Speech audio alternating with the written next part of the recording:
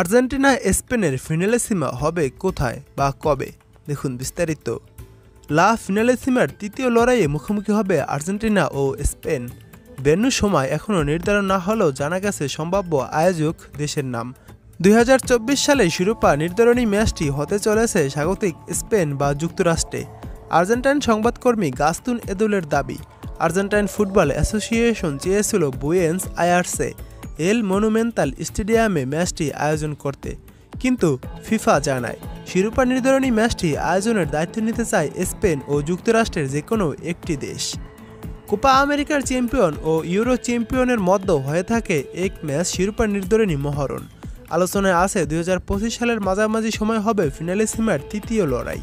দুই হাজার পঁচিশ সালের পনেরো জুন থেকে তেরো জুলাই পর্যন্ত আয়োজিত হবে ফিফা ক্লাব বিশ্বকাপ। এই টুর্নামেন্টের আগে বা পরে ফিনালেসিমা আয়োজিত হওয়ার কথা, তবে চূড়ান্ত সূচি এখনই জানা যাচ্ছে না। উরুগুয়ে এবং ফ্রান্সের মধ্যে উনিশশো পঁচাশি সালে প্রথম হয়েছিল ফিনালিসিমা সে সময় এটি আটেরমিও ফ্রান্সি কাপ নামে পরিচিত ছিল। প্যারিসে সেই ম্যাচে দুই শূন্য গোলে জিতেছিল ফ্রান্স। পরে উনিশশো তিরানব্বই সালে মালরা দে প্লাটে ডেনমার্ককে হারিয়েছিল আর্জেন্টিনা। লম্বা বিরতির পর দুই হাজার বাইশ সালে ফ্রি আনা হলো সেই ফিনালিসিমার মহরণ।